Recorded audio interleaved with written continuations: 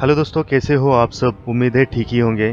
दोस्तों, इस फ़िल्म का नाम है द हर्ट। ये फ़िल्म रिलीज़ हुई थी 2014 में। और इसकी आईएमडीबी रेटिंग है 6.5 आउट ऑफ़ 10 दोस्तों, इस फ़िल्म की कहानी कुछ ऐसी है। कुछ माफिया लोग इन लड़कियों को किडनैप करते हैं, उन पर टॉर्चर करते हैं और उनके ब्रेस्ट से दूध निकालते हैं। दोस्तों, इस फ़िल्म की कहानी की शुरुआत करने से पहले, अगर आप हमारे चैनल पे नए हो तो इस वीडियो को लाइक करना शेयर करना सब्सक्राइब करना और बेल बटन ज़रूर दबाना ताकि हमारे आने वाले हर एक वीडियो का नोटिफिकेशन सबसे पहले आपको मिले। दोस्तों, कहानी की शुरुआत में दिखाया जाता है, एक लेडी डॉक्टर एक लड़की को टेस्ट ट्यूब के तरीके से उसे प्रेग्नेंट कर रही होती है। उसके बाद वहाँ पे एक गार्ड आ जाता है और उसके गले में पट्टी बांधकर वो उसे घसीटते हुए वहाँ से लेकर जाता है। जब वो गार्ड उसे वहाँ से लेकर जाता है, उसी वक्त वो लड़की उस कमरे में देखती है कि वहाँ पर बहुत सारी लड़कियों का उनकी ब्रेस्ट से दूध निकाल रहे होते हैं। वो उन सबको देख कर हैरान हो जाती है और वो गार्ड उसे कहता है कि इनके बाद तुम्हारी बारी आएगी। उसके बाद वो गार्ड उसे वहाँ से लेकर जाता है और एक तहखाने में,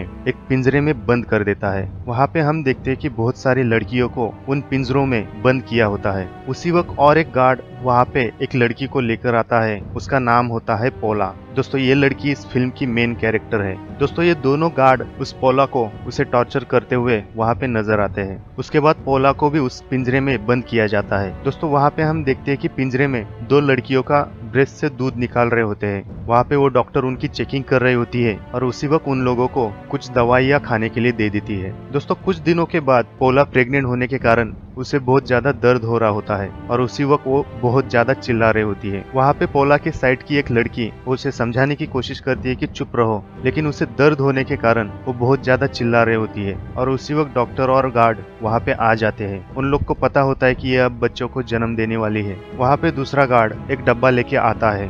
दोस्तों, वहाँ पे पोला को इतना टॉर्चर किया जाता है कि ज़बरदस्ती से उसके बच्चे को बाहर निकाल देते हैं। जब इन लोग को पता चलता है कि वो बच्चा एक लड़का है तो डॉक्टर दूसरे गार्ड को बता देती है कि इसे मार दो। जो दूसरे गार्ड ने वो डब्बा लाया होता है, उस बच्चे को, उस डब्बे में डाल के, वो गार्ड उस बच्चे को मार देता है। क्योंकि दोस्तों, इन लोगों को सिर्फ़ लड़की चाहिए होती है, जिसके ज़रिए बड़ी होने के बाद उस लड़की से, उन लड़कियों का ब्रेस्ट का दूध निकाल कर उनका फ़ायदा हो सके। वहाँ पे पोला बहुत रो रही होती है। उसी वक्त उसके बाजू वाली उसे सिंपत्ति देने की कोशिश करती है। पोला उसे कहती है कि मेरा गला दबा के मुझे मार दो, मुझे अब जीना नहीं है। लेकिन वो उसे इग्नोर करती है। कुछ देर बाद डॉक्टर और गार्ड वहाँ पे फिर से आ जाते हैं। वहाँ पे पोला उस गार्ड को कहती है कि मुझे मार दो, मुझे खत्म कर दो, मुझे अब जीना नहीं है। लेकिन वो गार्ड उसे कहता है कि हम तुम्हें मार नहीं सकते, क्योंकि उसमें हमारा नुकसान है। वहाँ पे वो गार्ड उन लड़कियों को टॉर्चर करते नज़र आता है। ये लोग वहाँ पर उन लड़कियों को शॉक देकर उनको टॉर्चर करते रहते हैं। उसी वक्त वो गार्ड उस लड़की को उसके गले में पट्टा बाँध के वहाँ से लेकर जाता है।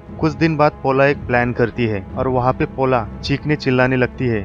जैसे वो चिल्लाने लगती है, वहाँ पे एक गार्ड आ जाता है। वहाँ पे वो गार्ड उसे बाहर निकालने की कोशिश करता है और उसे डॉक्टर के पास लेके जाने की सोचता है। लेकिन उसी वक्त पोला उसे किक मार के उसे नीचे गिरा देती है और जल्दी से जाकर उसी के जेब से एक चक्कू निकाल के पोला उसे मारने लगती है। तब वहाँ पे उस पिंजरे के सारे लड़कियाँ इतने खुश हो जाती है। वो सारी लड़कियाँ उसे कहती है की उसे मार दो, उसे मार दो। जब पोला उसे मार देती है, उसके बाद पोला उसके जेब से चाबियाँ निकाल लेती है और उन चाबियों से उन लड़कियों को छुड़ाने की कोशिश करती है। लेकिन पोला को वहाँ पे किसी के आने की आवाज़ सुनाई देती है। वो सबको चुप करा देती है और वहाँ पे एक कोने में छुप जाती है। उसी वक्त वहाँ पे दूसरा गार्ड आ जाता है। जब वो गार्ड अपने पार्टनर को वहाँ पे मरा हुआ देखता है उसी वक्त पोला उसके पीछे से जाकर चेन से उस गार्ड को गला दबाकर मारने की कोशिश करती है। उस गार्ड को मारने के बाद पोला उन चाबियों को उन लड़कियों के पास रख देती है और धीरे धीरे वहाँ से निकलने की कोशिश करती है। जब पोला उस कमरे से बाहर निकल जाती है, वो और एक कमरा देखती है, जहाँ पे एक गार्ड एक लड़की को मार रहा होता है।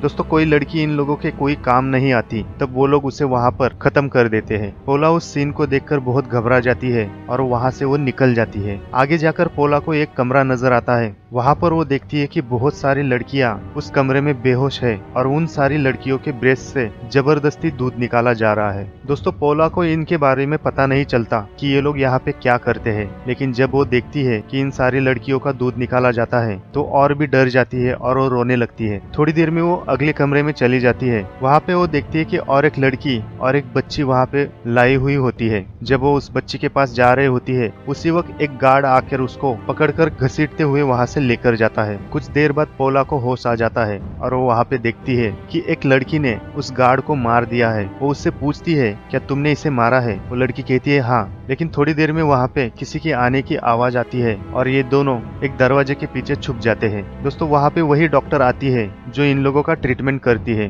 पोला और वो लड़की दोनों भी उसको पकड़ लेते हैं और उस डॉक्टर के जबान को काट लेते हैं ताकि ये किसी को कुछ ना बताए। और उसके बाद ये दोनों घसीटते हुए उसी तहखाने में लेके जाते हैं, जिस तहखाने में इन लोगों को बंद करके रखा हुआ है। और उस पिंजरे में इसे बंद कर देते हैं। इसके बाद हम देखते हैं कि वो जो माफिया है, जो इन लड़कियों को पकड़कर उनका दूध निकाल रहा होता है, उन लोगों की जाँच करने के लिए आ जाता है। जब वो माफिया वहाँ पे देखता है कि सब ठीक चल रहा है और वहाँ से वो निकल जाता है। उसके बाद पोला और वो लड़की दोनों भी वहाँ से चुपके से निकल जाते हैं। दोस्तों, इसके बाद एक एड दिखाया जाता है। उस एड में एक मॉडल उस क्रीम को यूज़ कर रही होती है। इन लड़कियों से निकाले हुए दूध से उस क्रीम को बनाया जाता है और उसी क्रीम को ये यूज़ करके वो अपनी खूबसूरती दिखा रही होती है।